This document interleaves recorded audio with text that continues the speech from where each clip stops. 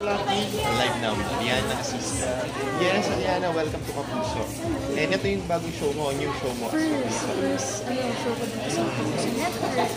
And how does working with Kapuso for the first time? Sobrang saya. Sobrang nilang welcoming. Hindi ako nakafeel ng pressure or natatakot. Kasi usually pag first day, syempre, di ba, nakababayad ka. Pero dito, sobrang, parang yung tagal ko na sila kapilala. So, sobrang saya. Na-excite ako na yung mapanood na film. Yes.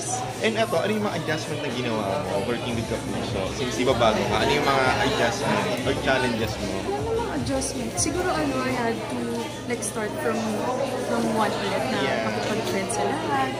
Yun nga, pero since parang wala namang problema, hindi naman kailangan mag mag-adjust sa, sa mga katrabaho mo kasi kakilala ko naman sila. Ang first time ko lang maka-work is si Yadi. Pero lahat sila kakilala.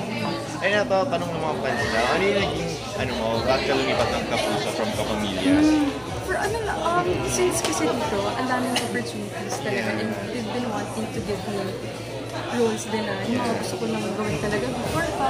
And nabigyan ako ng chance. So, ano naman, um, new adventure and masaya ako na lumipad. Sobrang masaya. Yes. Sa Kapuso, sino yung inaay mo na maging kalati mo o mga partner mo sa mga upcoming shows after ni Sherlock Jr.?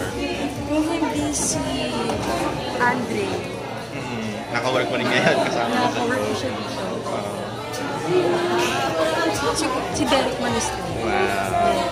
How about sa ladies naman, sa mga actresses, sino pang Ate inaay mo? Marian. Marian talaga. Si Ate Lovey. Sila.